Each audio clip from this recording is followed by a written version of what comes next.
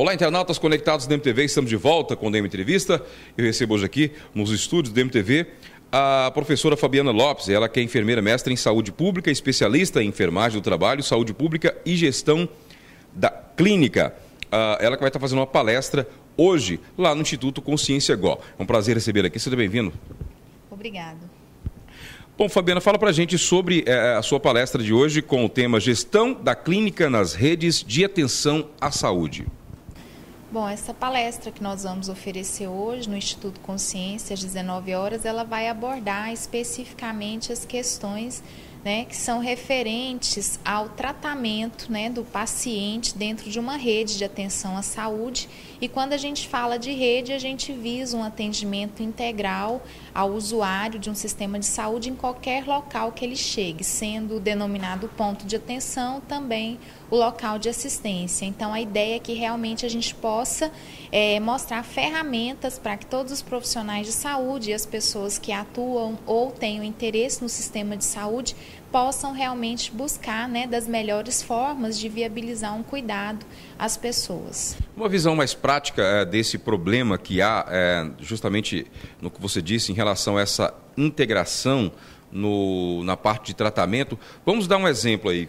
Como dessa dificuldade que a pessoa encontra às vezes nessa integração e até mesmo dar continuidade no tratamento por conta dessa falta de integração.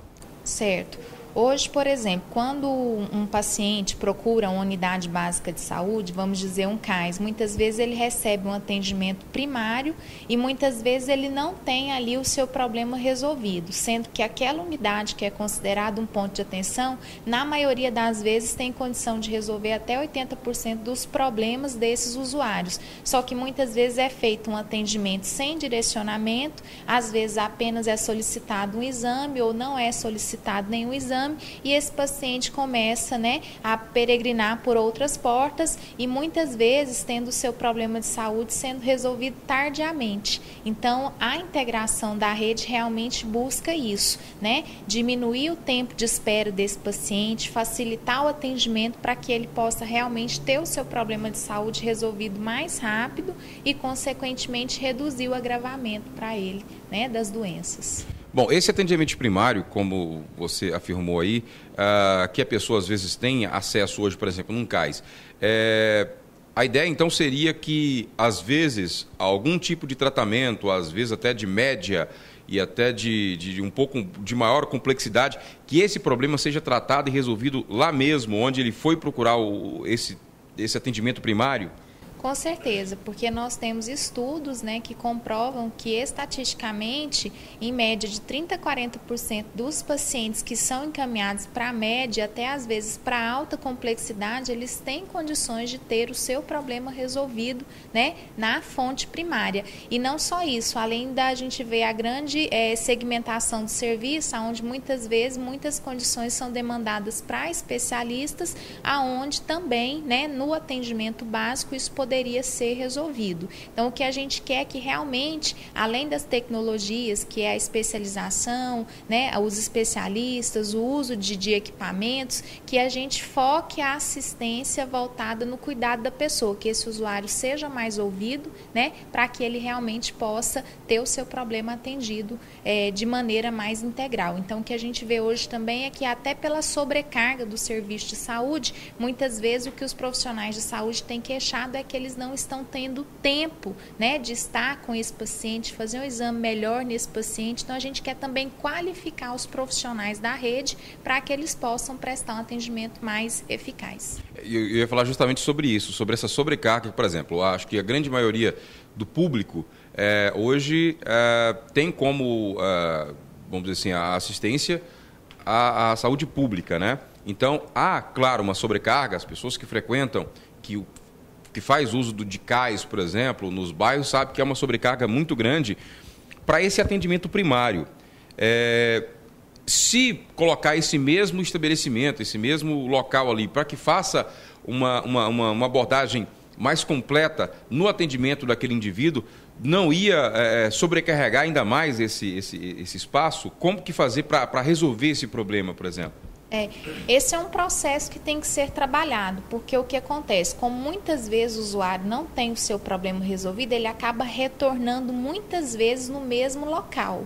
Então, com essa qualificação da rede, né, esse é um processo que gradativamente a gente espera também que o usuário tenha mais orientação, né, que ele saiba quando buscar o serviço e que quando ele busca, ele possa realmente até diminuir os seus retornos, porque o que a gente tem observado é que ele realmente tem retornado por muitas vezes, porque o seu atendimento, na maioria das vezes, não tem sido solucionado à medida que ele possa ter condições de ser solucionado naquele primeiro atendimento.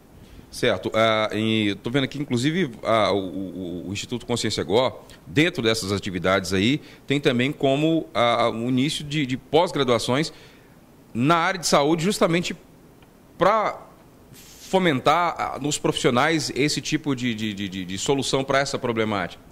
Com certeza. Então, o Instituto Consciência Gole trabalha né, os cursos de regulação, de auditoria. Então, essas são ferramentas que os profissionais podem né, utilizar também para melhorar, inclusive, a gestão né, do serviço de saúde, a gestão do atendimento. Né? Então, são instrumentos onde a gente, com certeza, tendo a qualificação desses profissionais, a gente consiga realmente né, adotar essa proposta. Inclusive, essa proposta de gestão de rede é a nova linha de trabalho do Ministério Ministério da Saúde, que vai estar trabalhando agora nessa qualificação de redes, porque né, a gente tem certeza que com esse trabalho a gente vai conseguir impactar outros resultados e, consequentemente, melhorar né, a qualidade da assistência da saúde que está sendo prestada à população hoje.